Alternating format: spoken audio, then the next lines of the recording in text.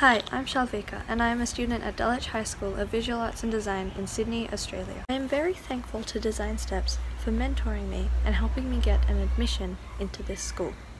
One way in which I have been benefited by Design Steps is getting to learn from top rankers, meaning I could interact on a daily basis with experts in design and got to learn about various topics in design from them.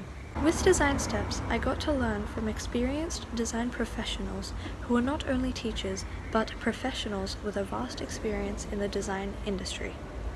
The inputs that they give are very practical as they understand the big picture of design, unlike many other coaching centers and guides. Learning from experts, like the mentors at Design Steps, has a huge advantage, as they know how to sort out any doubts or concerns that a student may have while learning. Design Steps know how to personalize the training so it is appropriate for each individual.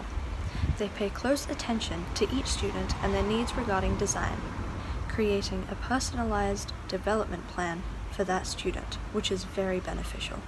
As every student has a different skill level in design, it is important to have a mentor who works with the student to further develop as well as help them learn new skills. Design Steps does not have a standard program, as different students have different skills. And this is where I was really impressed and benefited from Design Steps, as they understood my personal requirements in terms of design.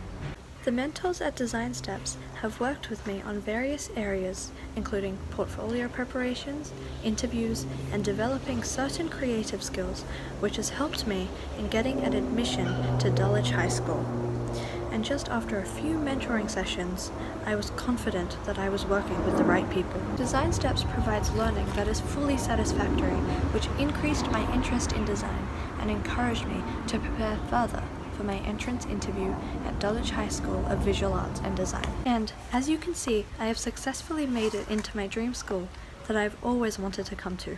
So thank you Design Steps.